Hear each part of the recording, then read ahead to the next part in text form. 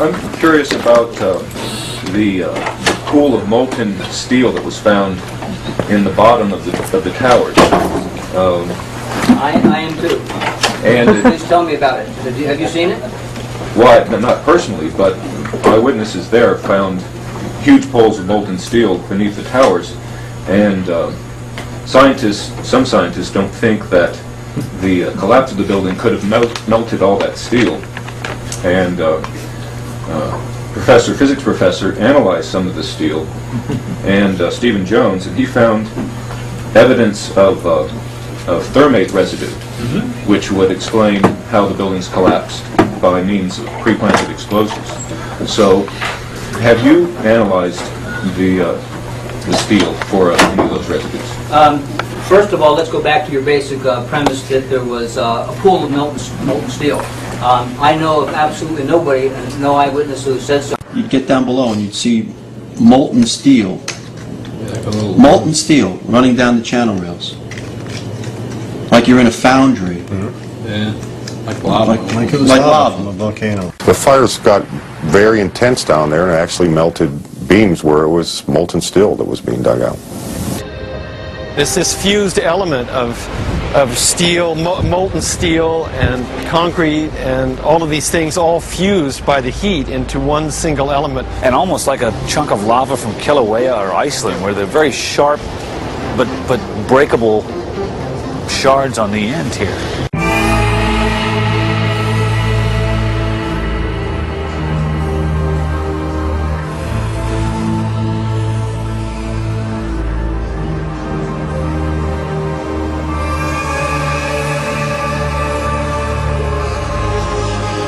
This 8-ton steel I-beam is 6 inches thick.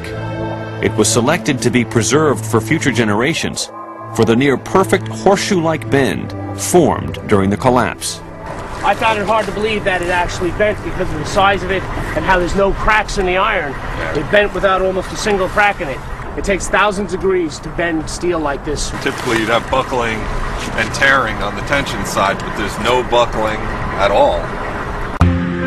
You saw steel, some of the thickest steel I've ever seen, bent like a pretzel.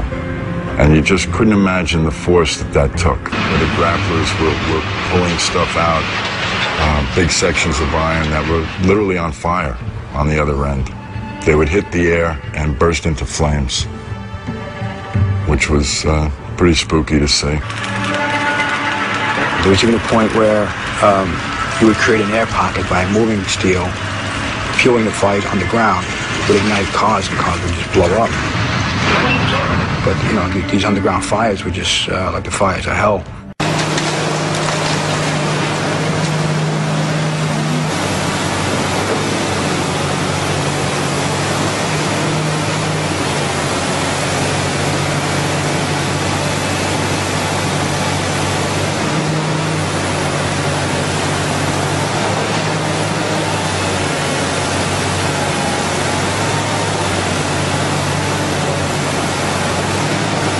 Underground, it was still so hot that molten metal dripped down the sides of a wall from Building 6.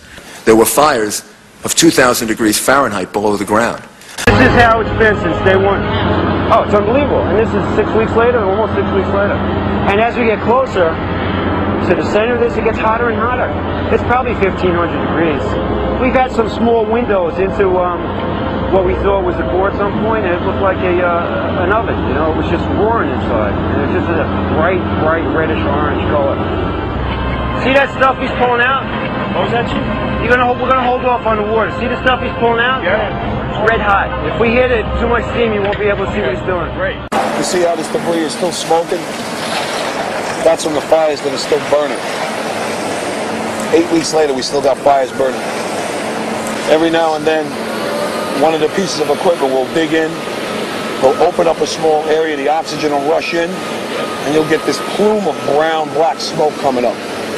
That's because that fire just got more oxygen. So, I mean, these things are burning. At one point, I think they were about 2,800 degrees.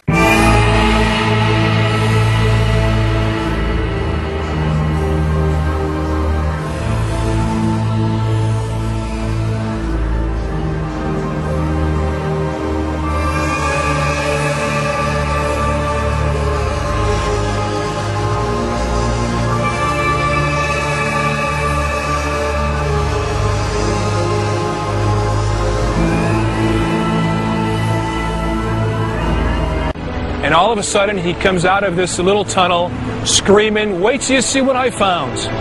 And he pulls in ministers and uh, officials, and there, this cross is fully extended, melted together with the intense heat. The two beams were never initially part of the same structure.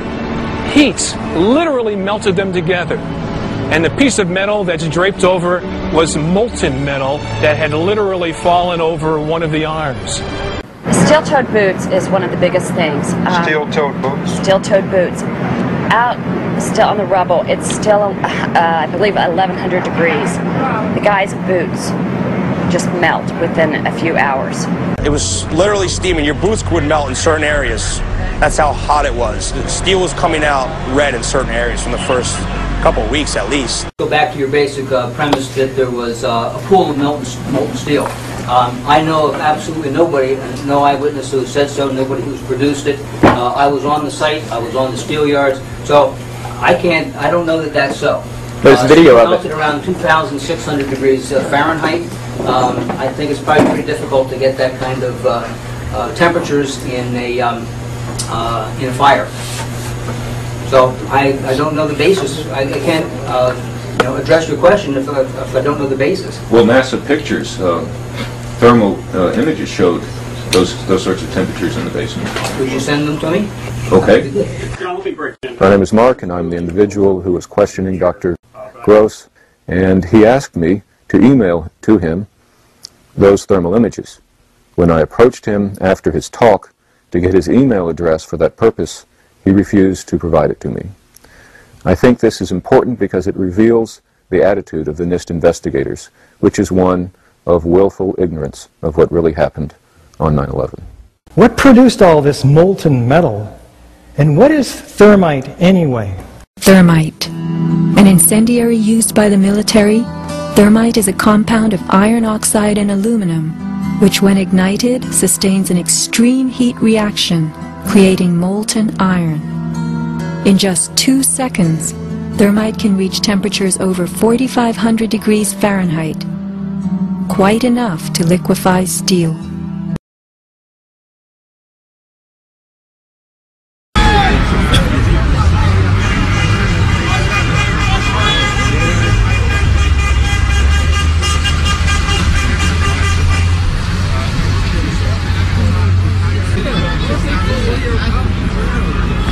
But is there evidence of thermite in the World Trade Center dust?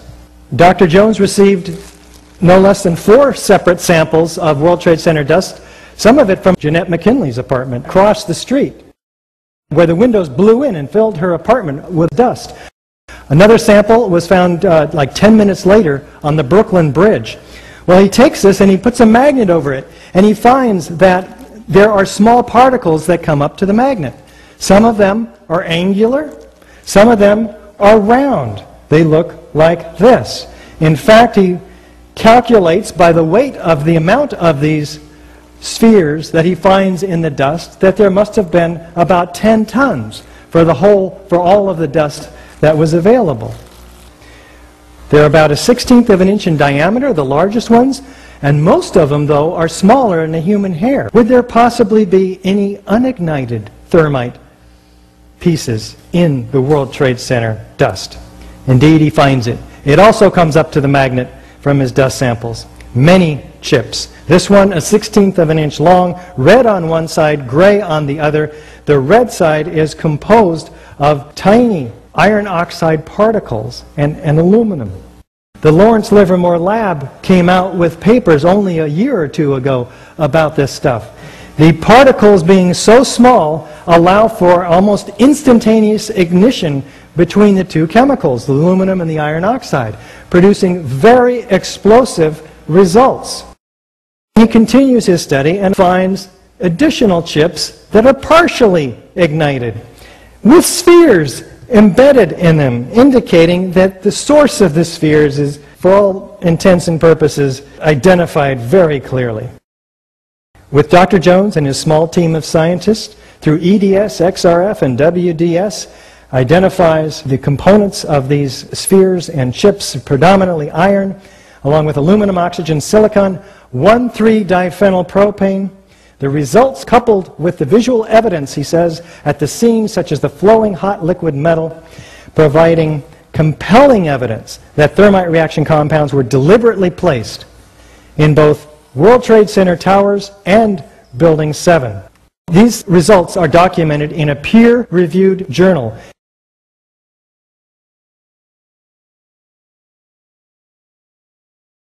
Can I tell you